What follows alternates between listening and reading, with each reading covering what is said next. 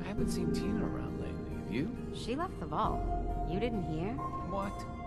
Are you kidding? Nope.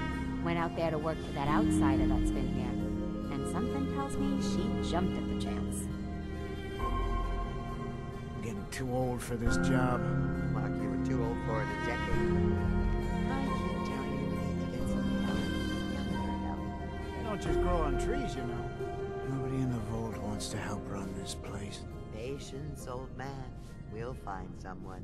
I still think Austin might want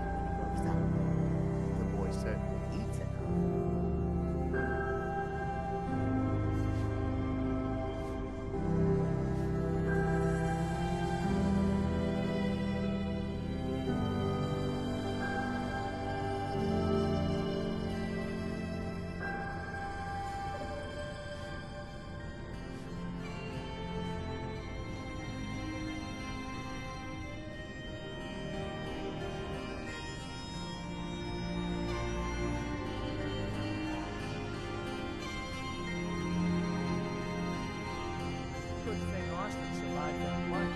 I bet Bobby's feeling pretty bad right now. Yeah, I wouldn't want that hanging over my head. Not in a million years. Especially here,